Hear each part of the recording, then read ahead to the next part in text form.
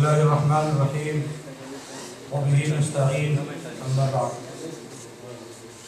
صدر محترم، اور اسٹیج پہ تشریف فرما دانشوران میرے مقالے کا موضوع ہے، مذہبی رواداری اور اسلام، آج کے ہندوستان کے تناظر میں۔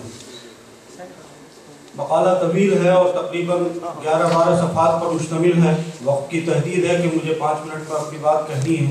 میں کوشش کروں گا کہ صرف اس کے دو تین پیراگراف آپ حضرات کے سامنے پیش کروں۔ اسلام دین رحمت ہے۔ اس کی مثال اس ابر کرم کی سی ہے جو ہر خطۂ زمین پر برسا، مگر اس سے استفادہ ہر ایک نے اپنے ظرف کے بقدر کیا۔ اسلام کے پھیلنے میں اس کی مذہبی تعلیمات بالخصوص عدل پروری و کرم گستری مساوات اور مذہبی رواداری کو بڑا دخل ہے۔ اسلام کا دستور پیش کرنے والی کتاب قرآن مجید کی ابتدا بسم اللہ الرحمن الرحیم سے ہوتی ہے۔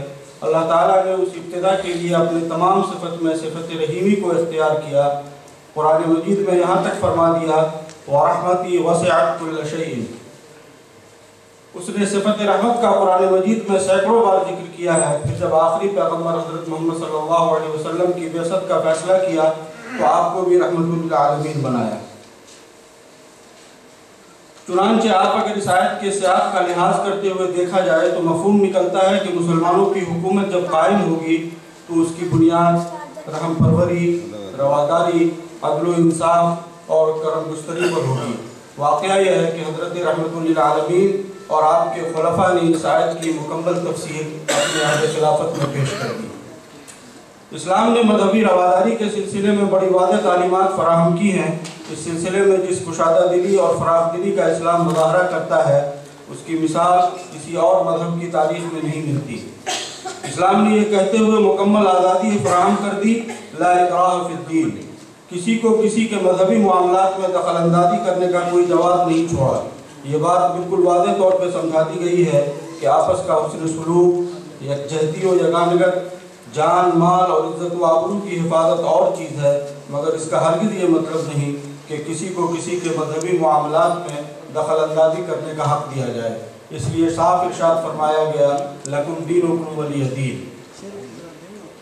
اور تم اپنے دین کے لیے رہو اور اپنے دین پر قائم ہوں اور حق کی وضاحت کرنے سے اس کو تسلیم کرنے اور نہ کرنے کے نتائج بیان کرنے کے بعد یہ بھی کہہ دیا گیا، جس کا دل چاہے مانے اور جس کا دل چاہے انکار کر دے۔ حضرات، پیپر کے اخیر کے حصے میں میں نے کچھ ایسے نکات لکھنے کی کوشش کی ہے، جو ضرورت اس بات کی ہے کہ آج کے ہندوستان میں جس پہ ہم لوگوں کو عمل کرنا چاہیے، میں صرف وہ نکات آپ کے سامنے پیش کرتا ہوں۔ اس لیے سب سے پہلی ضرورت ہے کہ ہندوستانی معاشرے کے پیش نظر یہ ہے کہ عدل و انصاف سے متعلق اسلامی تعلیمات کو عام کیا جائے، برادران وطن تک اصلی اسلوب میں اس کی تبلیغ کی جائے اور مسلمانوں کو ان پر عمل کے لیے ابھارا جائے۔